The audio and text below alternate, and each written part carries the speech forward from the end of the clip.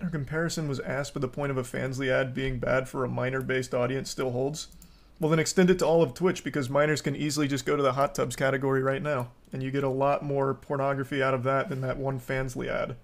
Not necessarily. Well, Well, yeah, I mean, yeah, well. Of course, advertising Fansly, OnlyFans, or anything in front of an audience that has younger children on it, it's always going to be not a great decision. It's one of those things, yeah. A Fansly with a bleached butthole on direct view is not the same as somebody wearing a bikini. Okay? And equating the bikini to pornography is factually incorrect. Therefore, the argument falls flat and Charlie is wrong. That's it. Checkmate. Uh, now,